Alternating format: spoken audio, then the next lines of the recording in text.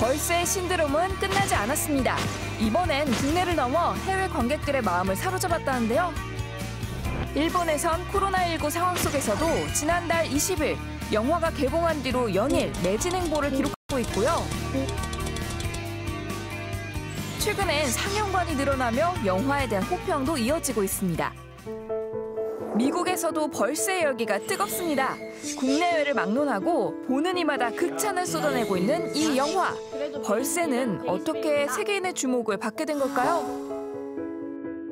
미국 같은 경우는 그 봉준호 감독의 기생충이 큰 관심을 받았잖아요. 그러면서 한국 영화에 대한 관심은 당연히 높아졌는데 벌새라는 작품이 2019년에 기생충과 함께 한국에서 가장 좋은 영화였다고 하는데 어떤 그 장르의 영화이고 어떤 이야기를 다루고 있을까? 영화 자체에 대한 관심이 굉장히 높고요. Parasite.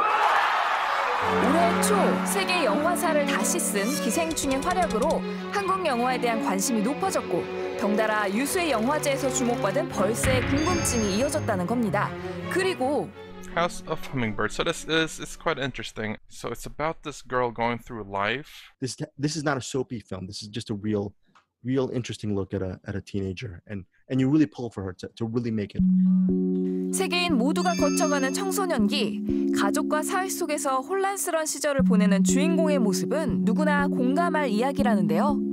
벌새에서 다루는 뭐 성수대교 사건도 그렇고 또 그 강남에서 벌어지는 분위기도 그렇고 이런 것들은 정말 한국적인 배경이라고 할 수 있는데 그럼에도 불구하고 그 큰 사건으로 개인이 겪는 아픔 같은 것들은 어느 나라건 비슷한 사례들이 있잖아요. 또 영화 속 성수대교 사건을 보며 나라마다 자신들이 겪어온 재난 상황을 떠올리고 영화에 더 이입했을 거란 겁니다. 사회가 남성 중심적으로 흘러가고 있잖아요. 그런 부분들은 또 일본도 한국하고 유사한 부분이 있기 때문에 자신들의 이야기인 것처럼 감정적으로 아, 많이 반응하는 것으로 보이고 있습니다.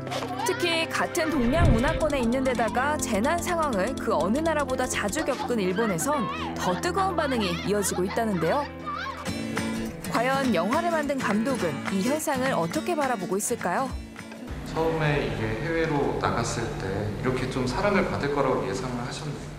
사실은 예상을 못했어요. 한국적인 영화잖아요, 벌새가. 근데 이제 사람들이 인간이 결국 경험하는 감정들이 비슷하구나라고 느꼈던 게 스페인 관객분이 은희가 자기였다라고 얘기를 하더라고요. 내가 은희였고 우리 모든 사람들이 사실은 은희였다 이렇게 그리고 우리 같이 여전히 이렇게 역사 속에서 나아가고 있다 그런 얘기를 하셨는데 되게 기분이 묘했던 것 같아요. 네. 세계인의 마음을 울리며 끝없이 비상하고 있는 영화 벌새. 오늘도 그 힘찬 날갯짓은 계속되고 있습니다.